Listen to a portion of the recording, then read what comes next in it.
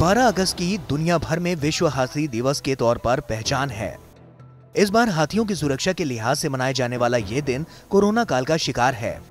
दरअसल इस बार हाथियों के चारे पर भी संकट मंडरा रहा है। जयपुर के आमेर फोर्ट में हाथियों पर सवारी करने वाले टूरिस्ट गायब हैं। इसी तरह जहाँ भी निजी तौर पर हाथियों का इस्तेमाल होता है, वहाँ पर आमदनी ठप होने से इनके लिए बड़ी समस्या हो गई है।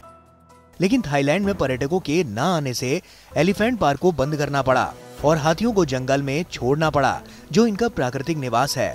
अब जानवरों के अधिकारों के लिए काम करने वाली संस्थाओं ने भी हाथियों को निजी हाथों से जंगल में छोड़ने की मुहिम को तेज कर दिया है। ज़्यादा रोबस्ट ट्रेनिंग और जंगलों में ज़्यादा पानी और घास और बाम्बू और बाकी सारे तैयार करना खाद्य, ये उसका उपाय है। और वो हम करने के लिए प्रतिबद्ध है। हाथी एक जंगली जानवर है, उसे जंगल में होना चाहिए, ना कि सिटी में लोगों के एंटरटेनमेंट के लिए। एलिफेंट राइड्स बैन करने का हमारा जो मुहिम है, वो तीन स्तर पर है।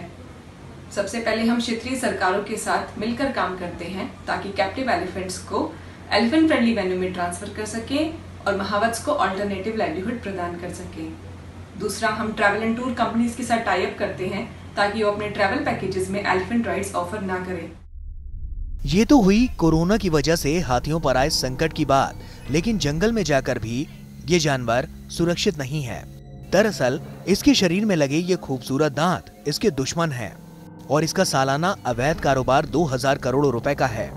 व्हाइट गोल्ड के नाम से मशहूर ये हाथी के दांत 500 से 1200 डॉलर प्रति किलो का बिकता है। 20 साल पहले हाथी के दांत के कारोबार पर रोक लगने के बावजूद हर साल सैकड़ों हाथी इस हाथी दांत की वजह से शिकारियों के हाथों मारे जाते हैं। इस हाथी दांत पर बैन बेअसर है और इसको पूरी तरह से अमल में लाने की मांग वाइल्ड लाइफ से जुड़ी संस्थाएँ कर रही हैं। हमारे यहाँ पे बहुत ही अच्छे वाइल्ड लाइफ प्रोटेक्शन लॉज हैं। आइवरी ट्रेड भी बैन है, बट इसके बावजूद भी इलीगल रूप से आइवरी ट्रेड होता है और आइवरी के लिए एलिफेंट के जो जो जो है इलीगल रूप से उनको मारा जाता है और उनके जो दांत होते हैं, उनसे बहुत तरह के प्रोडक्ट बना करके मार्केट में बेचे जाते हैं। तो ये सबको बंद करने की ज़रूरत है और इसके लिए हमको लगता है कि थोड़ा इन्फोर्समेंट अच्छी तरह से करना पड़ेगा और लोगों को भी ये समझना पड़ेगा कि उनका इसमें एक अहम रोल है। अगर हाथियों को बचाने के उपाय नहीं किए गए तो अगले पंद्रह साल में हाथियों के अस्तित्व पर संकट आ सकता है।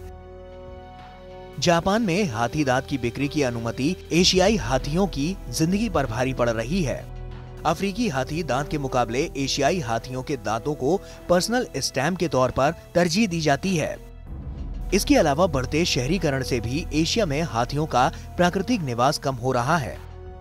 भारत में रेल हादसों में हाथियों की मौत होना आम बात है।